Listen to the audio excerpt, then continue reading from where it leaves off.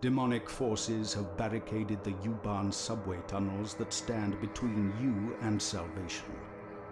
You must venture into them and brave the unspeakable horrors they contain if you are to find a way out of Berlin.